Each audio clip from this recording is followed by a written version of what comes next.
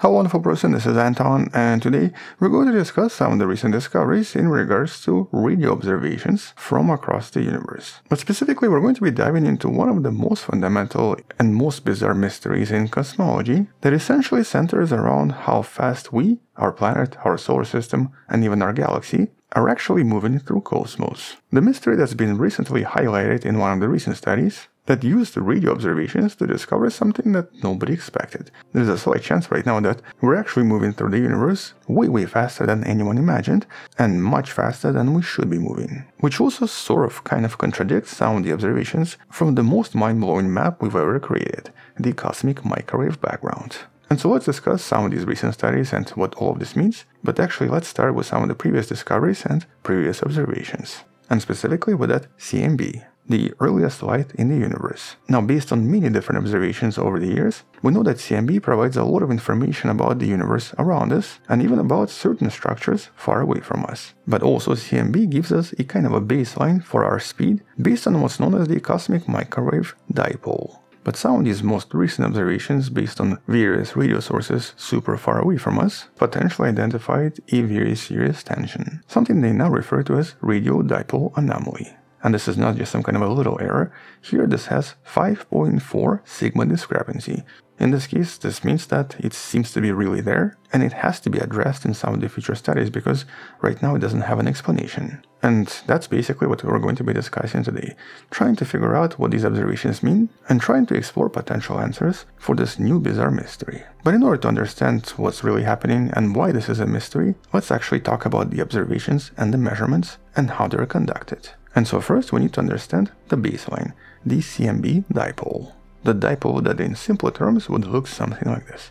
Now, what exactly are we looking at here? Well, remember, CMB is the earliest light in the universe. It was released approximately 380,000 years after the Big Bang, when the hot plasma that the universe used to be made out of finally turned into particles and allowed the light to travel through. And so as this light stretched and cooled for billions of years, it eventually turned very hot photons of about 3000 Kelvin into the photons that we observe today at approximately 2.725 Kelvin that we refer to as the cosmic microwave background. So basically this very faint microwave glow that comes from every single direction around us and that represents the remnants of this early light. And here the uniformity of CMB is incredibly important because it essentially supports the cosmological principle. The idea that even on a large scale, even if you travel for billions of light years in one direction, the universe is supposed to be the same and have the same laws and same properties because it literally looks the same in every direction in the CMB. In scientific terms, this is referred to as homogeneous and isotropic.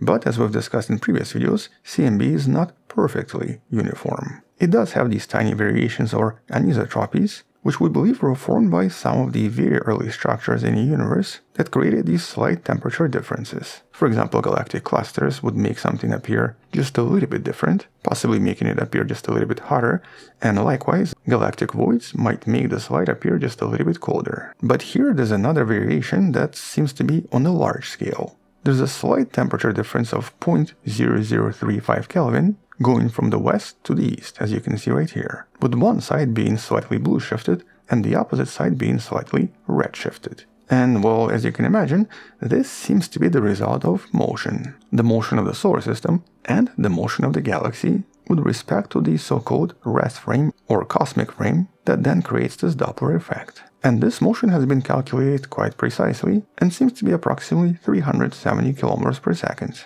And so basically here we seem to be moving in a certain direction at 370 km per second. This has been established many years ago and seems to have been true up until relatively recently. Okay, now let's talk about the radio sky. This is obviously based on observations in slightly longer wavelengths and does show us very different features. And just to give you an example, here is the microwave radiation and here's the radio observations. Here what you're looking at is of course the Milky Way. But crucially, it's important not to confuse the microwave dipole with the radio dipole, because technically they're measuring different things. And so the CMB dipole measures temperature, but the radio dipole is currently based on measurements of distant objects, specifically distant quasars, mostly focusing on their brightness. But here we have this very important question. If the universe truly follows the cosmological principle and is the same everywhere, would the measurements from CMB also be reproducible using radio sources in the same way we can see it in the CMB?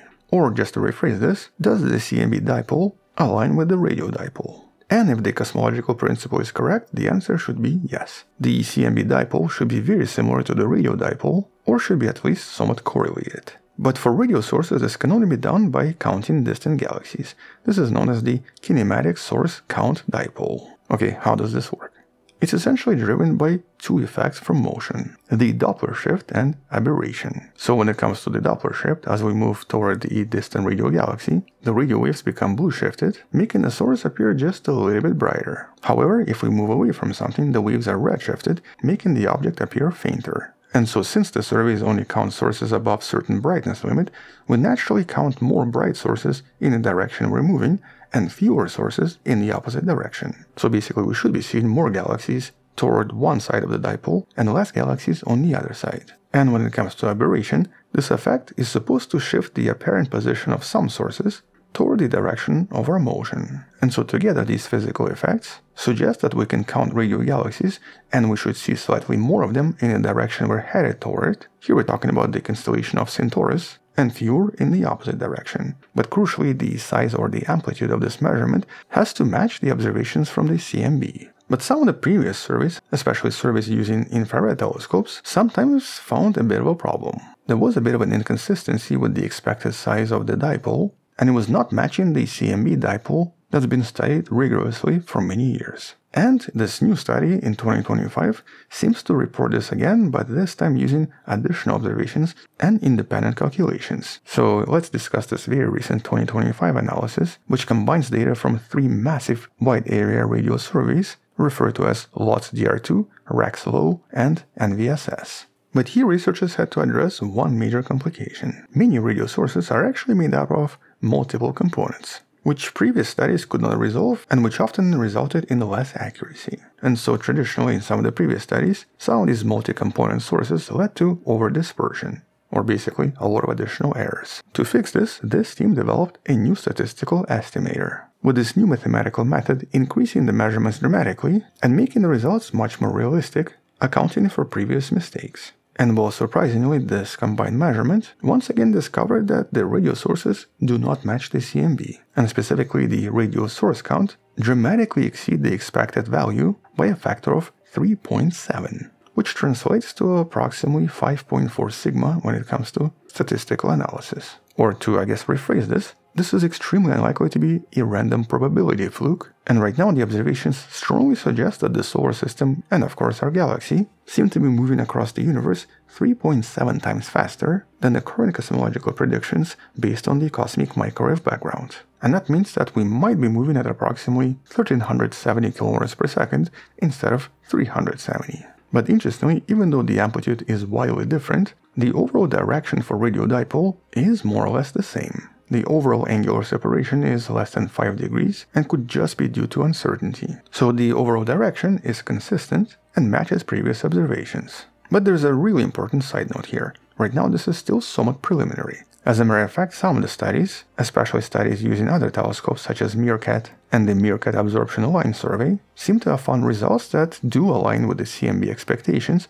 and sort of contradict the study, which potentially suggests that there is a problem with some of these surveys, or that the way that these wide area surveys are designed and conducted may actually produce some kind of a discrepancy. In other words, this might be a measurement issue and not a universe issue. And so there might be some kind of a systematic error or some kind of a bias, because radio astronomy is notoriously challenging to precisely calibrate across wide fields and occasionally leads to these systematic errors, especially the ones that operate at different radio frequencies. But here it's unlikely to be a systematic error across multiple surveys, because the results also seem to mimic previous observations using infrared quasars and infrared surveys as well. There, there was also this bizarre dipole detection that's difficult to explain, so the anomaly could be real after all. And that means that the question is, why?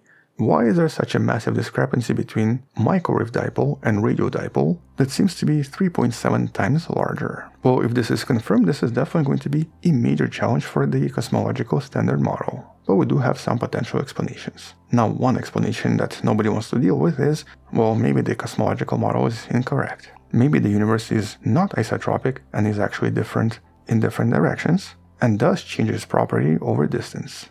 But a much more likely explanation, and the one that scientists are leaning toward, is what's known as the local bulk flow. The excess of motion in this case could be caused by a very large scale motion of matter that could be the result of some kind of a major structure such as the cosmic web and our position in it. Or basically, our local cosmic neighborhood might be moving much faster than expected because we're just located in this river of galaxies and are just headed in a certain direction. This would actually not violate any principles and does align with a lot of modern observations and modern propositions, but would also suggest that we're basically inside this very difficult to detect river that needs to be studied more in order for us to understand the universe itself. If you actually want to learn more about the cosmic web, check out some of the previous videos in the description. And so in short, we have no idea what's happening, but something seems to be happening. There seems to be a bit of a discrepancy between observations in the radio light compared to the cosmic microwave background and additional deviations in the infrared. And though both observations confirm that we're moving toward the constellation of Centaurus, which is by the way where the famous Great Attractor is located, here the observations in radio light and the microwave light give us very different velocity. And so we're left with two conflicting fundamental measurements.